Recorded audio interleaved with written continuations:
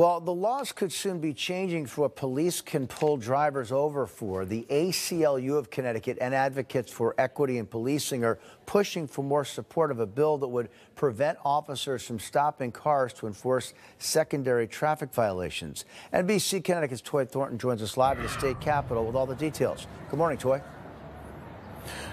Good morning, Kevin. Well, these stops are for minor infractions like driving with an expired tag or illegal tint. Advocates say these stops are unnecessary, dangerous, and target people of color.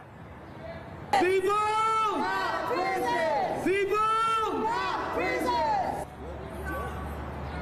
Well, Representative Steven Stafstrom spoke in support of the bill, saying officers should be pulling people over who are driving impaired, recklessly, or are committing crimes. The Greater Hartford NAACP says secondary stops like driving with an expired license create a pathway to discriminatory policing and disproportionately affect communities of color and those facing poverty. Now, these organizations are calling on lawmakers to support the bill to help give those those affected a little more peace of mind when they're driving.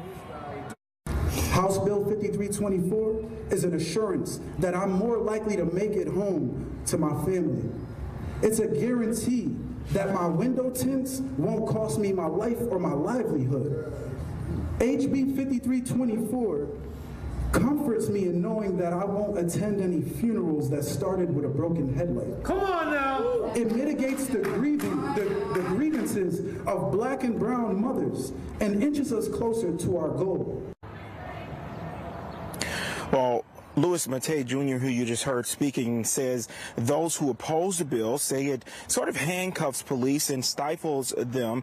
And Representative Stafstrom also says he has heard opposition uh, say because of the rise in traffic deaths and reckless driving on our roads that this should not uh, move forward. But he does argue that this is more of a reason for this to move forward so that police can focus on uh, more of the major infractions happening on the road. Now, these these groups say moving forward they are going to work to get more lawmakers to uh, get with them in support of this bill. For now, reporting live from the state capitol, Toy Thornton, NBC Connecticut News. Toy, thank you.